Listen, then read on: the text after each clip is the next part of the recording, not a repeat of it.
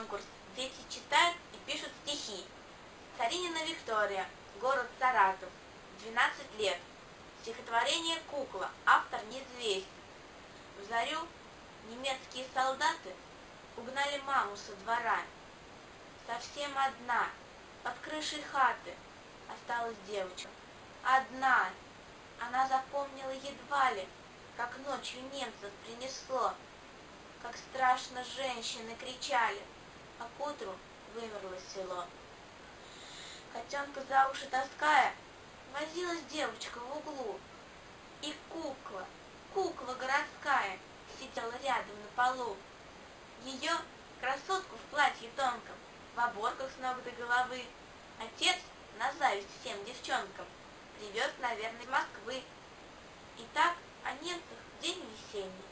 Забыла девочка давно, как вдруг они ворвались в сень, прикладом вышли окно, как волки рыскали по хате, хвалясь награбленным добром, сорвали простыню с кровати, сундук взломали топором.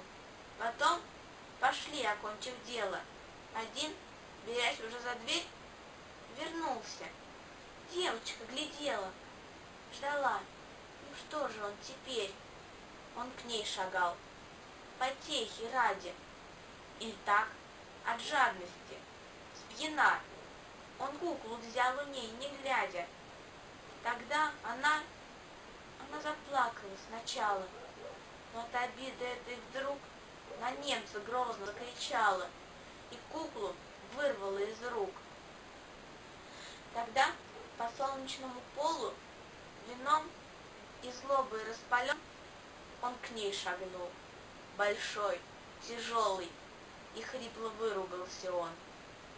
Лишь крепче стиснули ручонки дрявый кукольный парик, и был тот крик по зайчьи тонах, последний крик, смертельный крик. И стало тихо, билась в хате большая муха о стекло. На косы куклы и на платье немного крови натекло, но немец взял ее обратно и сунул в глубину мешка. Потом он вытер аккуратно до блеска лезвие штыка. Затем он вышел, худенькое тело, толкнув мне твердую ногой. И как бы я тогда хотела быть рядом с маленькой тобой, чтоб ты могла прижаться к маме, а я, не помня ничего, могла хоть голыми руками убить его, убить его.